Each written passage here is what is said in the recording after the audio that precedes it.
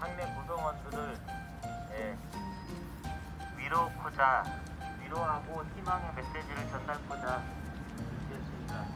지역 중심대학으로서 대학의 사회적 책무를 다하고자 준비된 행사입니다. 시험도 어렵지 않습니까? 다 움츠려 드렸는데 우리 꽃, 꽃들이 한개 면도 밝히고 그리고 목포달도 밝혀서 내년에는 더 좋은 한 해가 됐으면 하는 그런 바람입니다. 감사합니다. 찍겠습니다. 하나, 둘, 셋.